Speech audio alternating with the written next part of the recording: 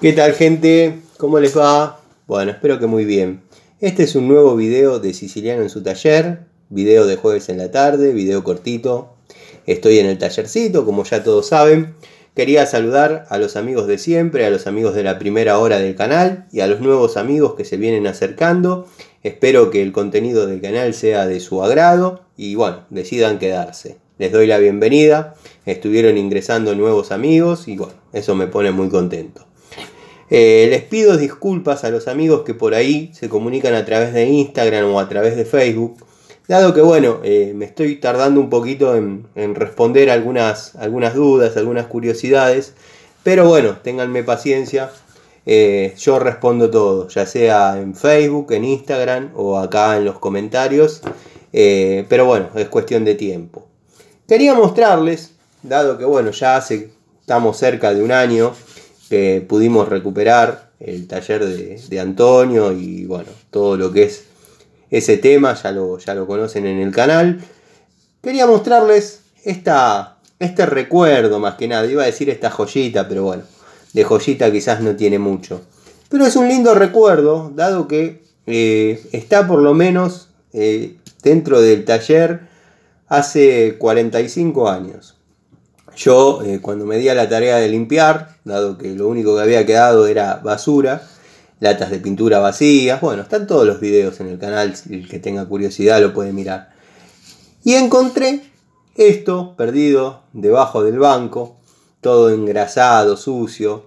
Y la verdad que es algo que yo veo desde que era muy chiquito, eh, permaneció en el taller desde siempre, es un matafuego con la particularidad de que también es inflador. Obviamente estaba revencido y no sirve para otra cosa que no sea un adorno, pero no deja de ser un lindo recuerdo de infancia. No sé muy bien cómo habrá llegado al taller, no sé muy bien por qué se decidió conservar tantos años, eh, la verdad que no tiene demasiado sentido, dado que había muchos y, estos se fueron tirando, o sea, Antonio los, los descartaba, porque incluso antes no era obligatorio llevar en el auto eh, matafuego. Eh, la verdad que bueno, lo conservo como un recuerdo de infancia. Lo tengo en mi taller. Eh, lo traje especialmente dado que tenía pensado grabar desde el tallercito algunas cosas que estoy haciendo. Y dije, bueno, le voy a mostrar a los muchachos un pequeño recuerdo de, de infancia. Dado que cuando podía entrar al taller y por ahí ir, mirar y revolver un poco, siempre lo veía.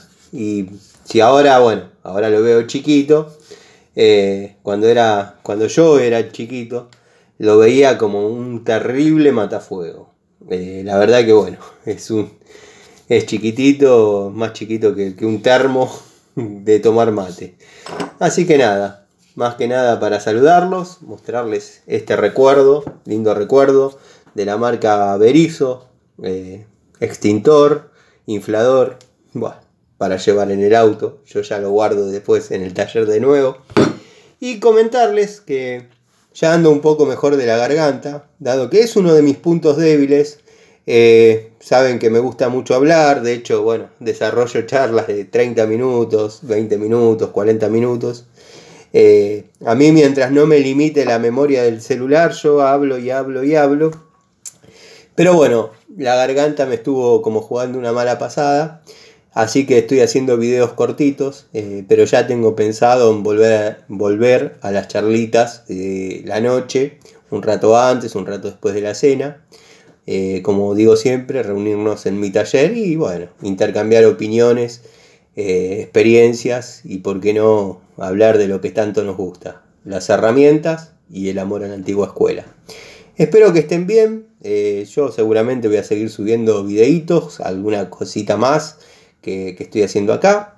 Así que nada, les agradezco a los amigos de siempre eh, por estar y a los que se vienen acercando, como dije, les doy la bienvenida. Cualquier duda, cualquier curiosidad, no duden en comunicarse. Ténganme paciencia para la respuesta. Generalmente los comentarios acá en YouTube eh, los respondo un poquito más rápido. Pero bueno, las redes eh, me tengo que sentar y responder dado que bueno, es más personal, más privado y muchos amigos tienen el WhatsApp y nos comunicamos prácticamente a diario. Les mando un saludo, nos estamos viendo en otro videito y gracias por, por la paciencia.